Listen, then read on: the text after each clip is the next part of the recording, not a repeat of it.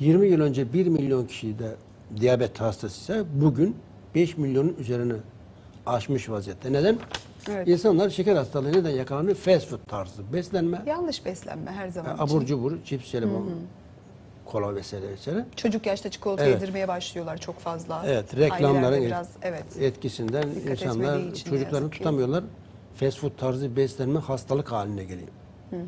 Fast food tarzı beslenen insanlarda vitamin, mineral, enzim vücutta gerekliliğince temin edemediği için sürekli açlık duygusu, sürekli yemek ihtiyacı doğuyor. Frenleyemiyor.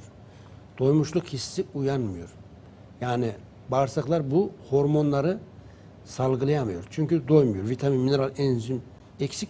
Sürekli fast food tarzı beslenenler sürekli yemek, yemek, yemek zorunda.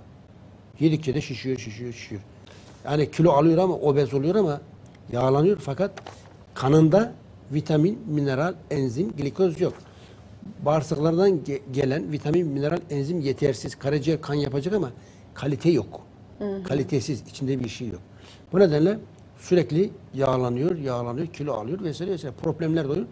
Bu da karaciğer yağlanması, pankreas yağlanması, şeker hastalığı, tansiyon vesaire vesaire bir sürü hastalığı ortaya çıkarıyor. Kudret narı ile ilgili Profesör Doktor Süleyman Türk yapmış olduğu araştırmalarda Çinliler zaten bunu binlerce yıldır kullanıyor şeker hastalığına karşı. Bununla ilgili klinik araştırmalar 27 Mart 2008'de International Journal Chemical isimli dergide yayınlanmış, belgelenmiş yani. Bununla ilgili birçok klinik araştırması var. E biz bunu ne yaptık? Günümüzde hazırlanan kudret narı efendim zeytinyağlı ve ballı türlerini farklı ve daha etkili bir formda hazırladık. Onun içindeki mideye zararlı olabilecek asidi alarak. Her bitkinin bir hazırlanış tekniği var.